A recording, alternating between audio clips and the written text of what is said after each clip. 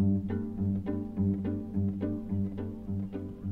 évidemment, de tous les vêtements de la ville, de la campagne, de la Manche et de l'Espagne, on est des diamants, des brunes grises et des châtains, les vieux sont des choses.